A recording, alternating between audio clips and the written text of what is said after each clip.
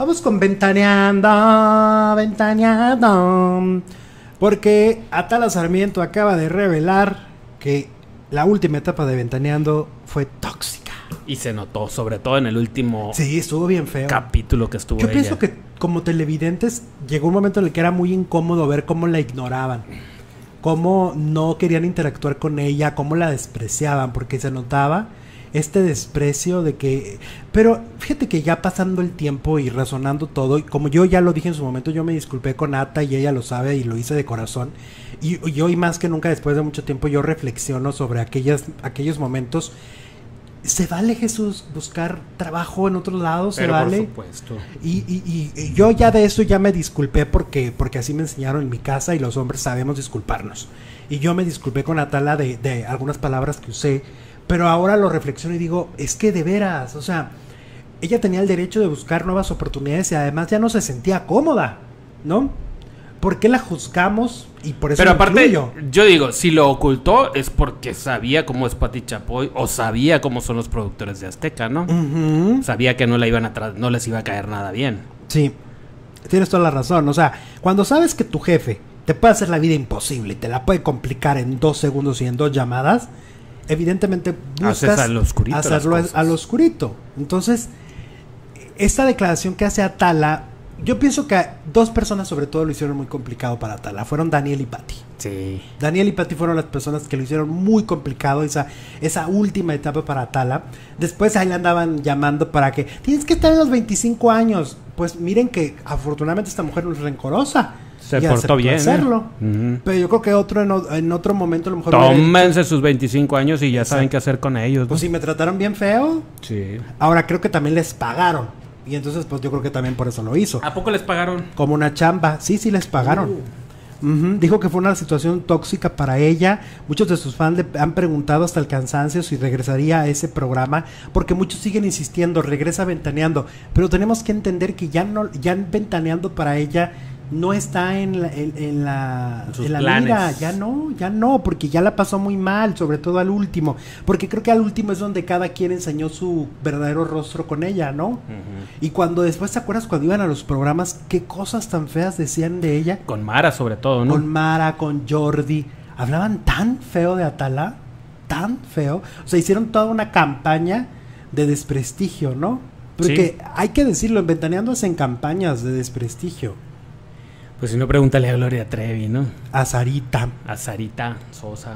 Ujú. Y al la víctima que traigan de moda en este momento. No sé sí, quién será. sí, sí. Ahí está la misma Frida Sofía. Y le dice, me preguntan que si extraño la tele y voy a ser franca. Extraño el momento de hacer la tele, de estar en directo haciendo televisión, pero no extraño mucho el pre ni el post. Puta, pues está de la fregada, ¿no? o sea, ni el antes ni el después, está cañón. Nomás el momento en vivo. Ni la gente alrededor de eso dice. De la tele terminé bastante cansada, incluso intoxicada. Estoy tomando un descanso muy profundo de la tele. Fueron qué las padre. declaraciones de Ata Sarmiento. Pues si eso le hace bien y le hace feliz, qué bueno. Pero sí fuimos testigos y, y- y en, es- en algún momento sí nos dimos cuenta que jugamos el mismo, el- lo que Ventaneando quería que jugáramos.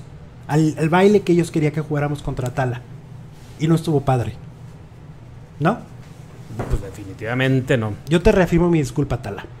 Te la reafirmo de verdad. Pues yo no, porque yo nunca dije nada malo de Atala. Yo, a mí de Atala siempre me ha caído re bien y esté donde esté, pues lo mejor para Talita. Si va a volver algún día, que vuelva sana y renovada y feliz y eso es lo más importante. Pues sí, exactamente. Ahora, eh, ventaneando, pues mira, Televisa publica esta audiencia del final de, de La Fuerza del Destino. Y pues mira nada más la audiencia. Eh, fue lo más visto en su horario, publica Televisa y tiene 2.9 millones de personas en su gran final, superando a Ventaneando, y escuchen esto, con el 359%. ¡Wow! Ventaneando solo logró 637 mil espectadores. Ese día, quien prendió la tele en ese horario no quería ver Ventaneando.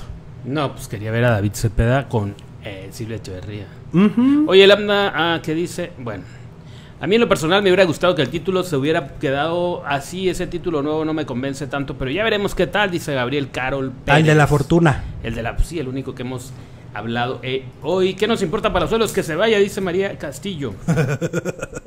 ok. bueno.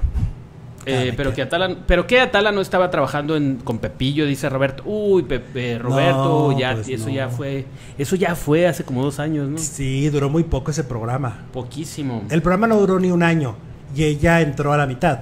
Mira, dice Tania Quintero, me encantaría ver a Tala en, en redes, algo así como lo que hace Jordi. Ah, está padre. lo intentó. El problema es que vive en otro país. Bueno, pero lo intentó y de ahí entró a intrusos, ¿no? Fue cuando le hablaron de, intrusos y pues adiós a su canal. No sé si ya lo retomó, no, no creo. No, no, Sería no. noticia, no, no, no, ya no lo retomó porque como ya se fue a, España, allá no ha hecho nada. Ok, bueno.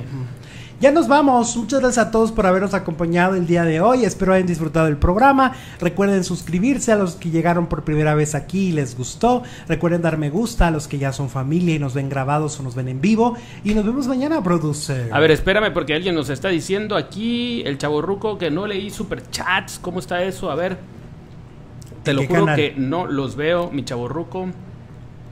No los veo, no los veo, no los veo. Y estoy, le estoy dando para arriba, para arriba, para arriba. Y no los sigo sin ver. ¿Tú los ves ahí? No, es que yo tengo Face nada Uf, qué la...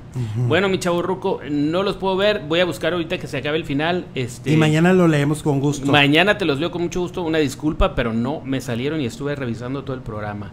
Rosario Cureño nos pregunta, Alex, ¿por qué no repiten Corazón Salvaje con Edith González y Eduardo Palomo? No tienen los derechos. Están tratando de recuperarlos. Esperamos que se logre porque es muy buena telenovela. Ojalá. Bueno. Ya, ¿verdad? Sí. Muy bien. Nos vamos. Bye, hasta mañana. Gracias, hasta mañana.